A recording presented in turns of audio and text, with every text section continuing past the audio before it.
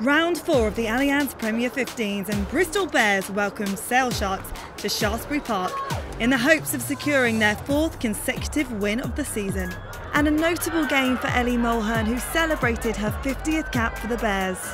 This is just the fourth game for new head coach Dave Ward since joining back in the summer, and the Bears are really making their mark. England international Sarah Bern offloaded to outside centre Phoebe Murray, who opened the scoring, making it her seventh try of the season so far. A messy line out from the visitors gave the Bears opportunity to capitalise on the Sharks' mistakes. Feeding the ball out wide, winger Amy Coles managed to find space and slides over the chalk, bagging a try on her first start of the campaign.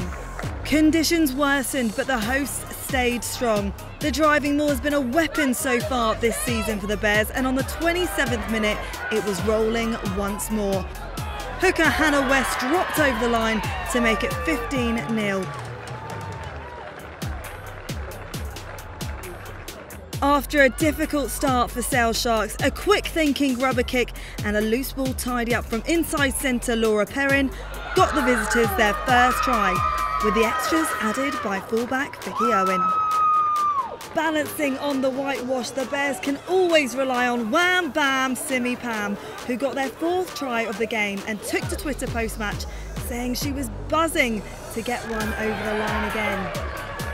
Following the half-time whistle, Sharks winger Lauren Delany showed off her island international excellence and brilliantly intercepted an attacking phase of play, galloping over the line from 60 metres out.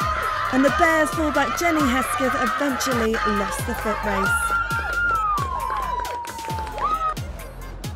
Just a few minutes later, and the Bears responded quickly with a set piece success Another dominant driving maul, gaining momentum, meant the Welsh captain Siwan Lillicrap got her third try of the season. 16 minutes in and through the quick hands of number 8 Tanner Field, Vicky Owen picked up the flat pass and got the visitors final points of the day. After four bonus point wins from four, the Bears now sit above Saracens at the very top of the table on points difference.